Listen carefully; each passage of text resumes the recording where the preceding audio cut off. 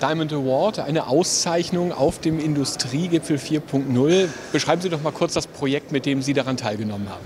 Ja, Projekt ist im Endeffekt schon, schon ein Produkt, was im Einsatz ist. Es geht um, um die Vernetzung.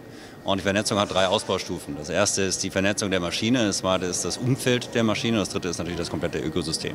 Und bei uns geht es darum, wie kriegen wir eigentlich das, äh, das Ökosystem einer Maschine so vernetzt, dass ich in der Landwirtschaft den kompletten Produktionsprozess digital abbilden kann und das so automatisiert, dass ich ja nicht weiß, wer war wann, wo, wie lange, auf welchem Feld hat welche Kosten produziert äh, oder welche Biomasse ist über welche Waage in welches Silo gelandet, die ich jetzt hier in der Biogasanlage verbrenne. Also kurz gesagt Landwirtschaft 4.0. Genau.